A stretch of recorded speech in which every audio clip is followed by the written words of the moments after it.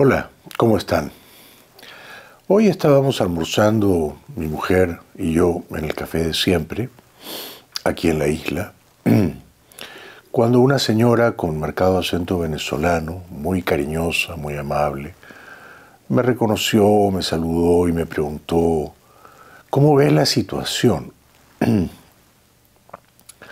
Y yo le dije, ¿la situación dónde? Y ella me dijo en Venezuela, como si fuera algo obvio. Uy, le dije, la verdad, no soy optimista. La verdad, soy pesimista.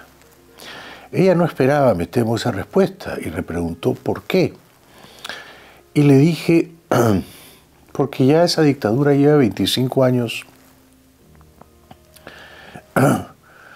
y los únicos que podrían derribarla realmente no hacen nada, no hacen absolutamente nada para derribarla. Además, le comenté, acaban de arrestar en el aeropuerto de Maiquetía al activista de derechos humanos Rocío San Miguel, a su hija Miranda, a sus hermanos, a sus exparejas, acusado de conspirar para matar a Maduro. Entonces yo no soy optimista. No encuentro razones para ser optimista mirando a Venezuela, mirando con dolor a Venezuela. No le dije a la señora lo que ahora sí les voy a decir a ustedes. ¿Quiénes son los que podrían hacer algo significativo para tumbar a esa dictadura? Obviamente, el gobierno de los Estados Unidos. Primero Trump me decepcionó muchísimo y luego Biden me ha decepcionado todavía más. Quiero decir, no se me ocurren sino tres o cuatro escenarios para derribar a esa dictadura, porque para mí es muy evidente que esa dictadura no va a entregar el poder pacíficamente.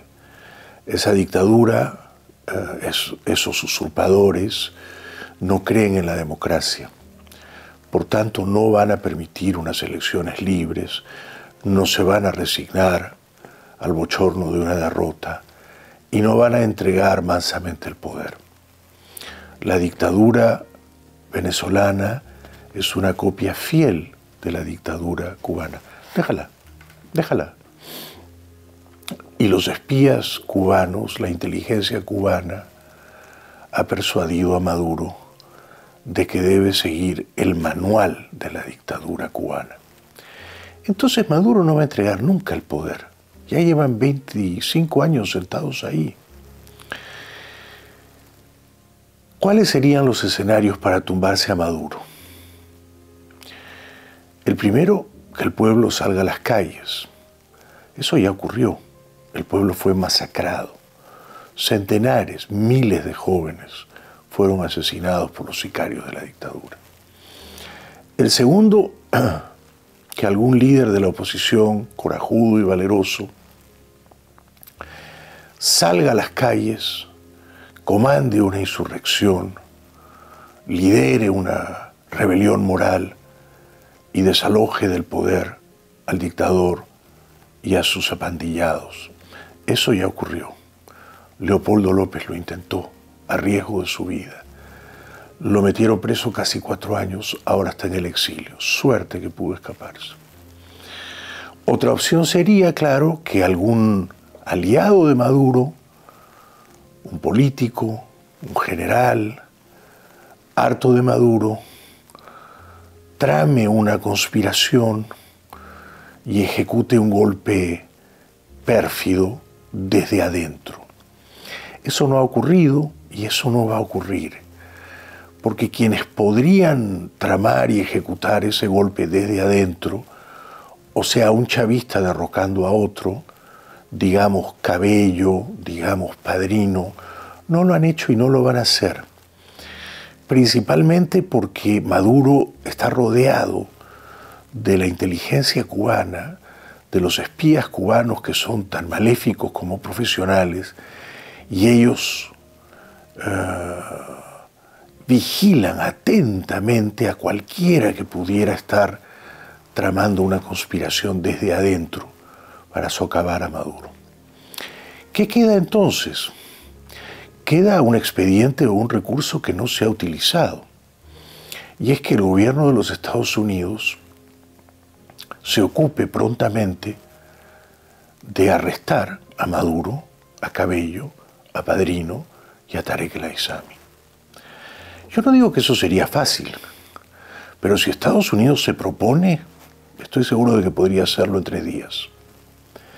Hay unas bases legales, hay unos fundamentos legales para que Estados Unidos arreste al dictador venezolano y a sus principales más conspicuos apandillados. Pero claro, fíjense que la DEA, o sea, la Agencia contra el Narcotráfico de Estados Unidos, hace cuatro años, a principios de 2020, formuló cuatro cargos criminales contra Maduro. Cuatro. En la Corte del Distrito Sur de Nueva York. Esos cargos están ahí, en pie. Y lo acusó, entre otras cosas, de conspiración con el narcoterrorismo y de conspiración para importar cocaína aliado con las guerrillas colombianas de las FARC durante más de 20 años aquí en los Estados Unidos. Y la DEA pidió, y esa petición está en pie, información para capturar, para arrestar a Maduro. Cualquiera que provea esa información recibirá una recompensa de 15 millones de dólares. Es decir, que el gobierno de Estados Unidos, la justicia de Estados Unidos, la policía antinarcóticos de Estados Unidos, ha pedido hace cuatro años, cuando Trump todavía era presidente, que se arreste a Maduro y ofrece una recompensa de, de 15 millones de dólares. Y lo acusa ante las Cortes de Nueva York de narcoterrorista y de narcotraficante aliado con las FARC. 15 millones de dólares, recompensa por Maduro para arrestarlo. Bueno, si la justicia de este país tiene suficientes pruebas de que Maduro durante 20 años, aliado con las FARC, ha importado cocaína a los Estados Unidos, entonces que la justicia, o sea, que el brazo político de la justicia, o sea, que el gobierno de Biden, ordene el arresto de Maduro y que vayan unos cuerpos de élite, unas tropas militares de avanzada, y que arresten al dictador y lo traigan aquí. Lo mismo Cabello. La DEA lo ha acusado de cuatro cargos criminales ante las Cortes del Distrito Sur de Nueva York. Ha pedido no 15 millones, sino 10 millones de dólares por su arresto. Ofrece esa recompensa, 10 millones de dólares. Lo mismo eh, el general, el inefable general Vladimir Padrino. Lo mismo el ex vicepresidente Tarek El Aizami, que está desaparecido. O sea, la DEA ya los ha acusado el año 2020 de ser narcotraficantes y de enviar cocaína aquí a los Estados Unidos con el deliberado propósito de intoxicar, envenenar y contaminar a la gente en este país al que tanto odian. Ahora ustedes me dirán, no, pero Bailey, no seas tan idealista, no seas tan soñador, es imposible que una tropa de élite de Estados Unidos vaya a Caracas y arreste a Maduro, a Cabello, a Padrino y a El Aizami. No, no es imposible. Claro que no es imposible. Estados Unidos tiene los recursos, tiene la fuerza, lo que no tiene es el liderazgo moral, lo que no tiene es la determinación política, porque Biden no se atrevería a hacer eso. ¿Quién lo hizo? Bueno, lo hizo el año 89, diciembre, Bush, Bush padre. Había otro dictador en la región asociado con el narcoterrorismo, asociado con el narcotráfico colombiano, el dictador Noriega, que había hecho una fortuna, mala vida, enviando cocaína aquí a Estados Unidos. Y Bush decidió invadir Panamá, capturar a Noriega e implantar, instaurar una democracia en Panamá que aún ahora, tantos años después, está en pie. Entonces, si Biden tuviera el coraje del que carece, si Trump hubiera tenido el valor del que careció, ya no estarían en pie, ni Maduro, ni Cabello, ni Padrino, ni el Aizami, y por tanto ya no estaría en pie esa inmunda, hedionda dictadura venezolana. Basta, ya digo, con tomar la decisión de ir a arrestar a estos narcotraficantes, narcoterroristas. A esos cuatro y a nadie más. Arrestados esos cuatro se desplomaría como un castillo de naipes esa dictadura, les aseguro. ¿Podría hacerlo Estados Unidos? Pero claro que sí. Debería hacerlo, pero ¿cómo no? Están acusados ante la justicia de Nueva York de narcotraficantes, Maduro y Cabello. Recompensa de 15 millones, 10 millones de dólares. ¿Necesita realmente el gobierno de Biden que alguien le diga dónde está Maduro o cuál es el paradero de Cabello? ¿No deberían saberlo ellos mismos, los servicios de inteligencia de Estados Unidos? ¿No deberían ellos saber dónde pasa la noche Maduro, dónde duerme Cabello, cuál sería el mejor momento de arrestarlos? Es decir, los servicios de inteligencia, las tropas de élite, los cuerpos militares de avanzada, deberían ser capaces de entrar furtivamente a Caracas y arrestar a estos cuatro criminales. Mientras eso no ocurra, no va a caer la dictadura venezolana. Además, no solo Biden ha carecido del coraje, de la visión, del liderazgo moral necesarios para tumbar a la dictadura venezolana, peor todavía ha sido un tonto útil de esa dictadura. Peor todavía ha sido un aliado y un colaboracionista de esa dictadura, repugnante. ¿Por qué digo esto? Porque Biden ordenó a la oposición venezolana que firmara con la dictadura en octubre del año pasado el Tratado de Barbados. O sea, Biden le creyó a Maduro, a los emisarios de Maduro. Les creyó.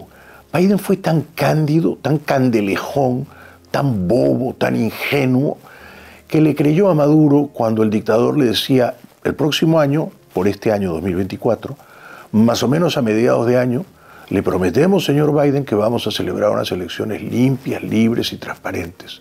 Y si perdemos, entregaremos el poder y si nos gana María Corina, le daremos a ella el poder y nos iremos a nuestras casas. Y Biden le creyó a Maduro. Y firmaron con los emisarios de Maduro, con el desalmado Jorge Rodríguez en Barbados, un acuerdo de transición pacífica, de elecciones transparentes, con observadores confiables.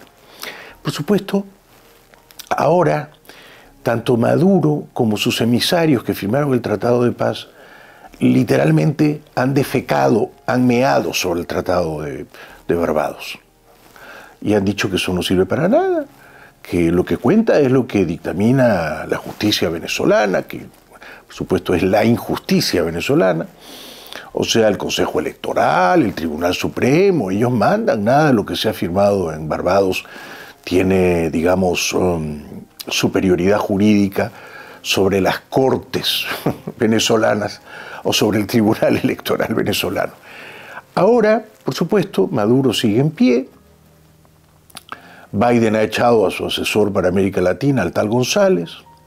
Cayeron en la trampa de la dictadura firmando ese ridículo tratado de Barbados. No sé cuántas veces más tienen que caer en las trampas de Maduro y Cabello. Y nada amenaza, y por eso le dije a la señora venezolana en el café esta tarde, no soy optimista. Nada amenaza a la dictadura venezolana, a Maduro, a Cabello y a otros aún peores. Nada los amenaza. Mientras Biden no se proponga realmente derribarla, arrestar a esos malandrines, ellos van a seguir ahí, haciendo las horribles eh, eh, fechorías, eh, trapacerías y abusos día a día y noche a noche, como ha sido francamente horrible el abuso perpetrado contra la señora Rocío San Miguel, que está presa solo por defender los derechos humanos. ¿no? Y por supuesto exijo desde acá su inmediata liberación. Pero entiéndase que en Venezuela hay una dictadura comunista copiada y calcada al carbón de la dictadura comunista cubana. La dictadura comunista cubana eh, va en camino de cumplir 70 años. Y la dictadura comunista venezolana está cumpliendo, ha cumplido ya 25 años. Y Biden, por supuesto, no va a mover fichas para arrestar a Maduro, a Cabello, a Padrino y a Laizani. Pero eso es lo que habría que hacer. Y si yo fuera Biden, ordenaría el arresto de esos tres o cuatro ampones criminales sin más demora. Ya están las pruebas, ya están los cargos criminales en Nueva York, ya están las eh, recompensas ofrecidas por 15 y 10 millones de dólares. ¿Qué espera Biden? ¿Qué esperaba Trump? ¿Por qué son tan pusilánimes? ¿Por qué no usan el poder de Estados Unidos para rescatar la libertad en un país donde los pobres ciudadanos han sido reducidos a la condición de zombies, de súbditos y de esclavos. Toda mi solidaridad es siempre con los venezolanos y gracias a esa señora venezolana que me saludó con tanto cariño en el café. Y le pido disculpas si ante ella fui pesimista, pero a mí no me gusta mentir a nadie y en efecto, mirando a Venezuela ahora mismo, soy pesimista. Seguimos.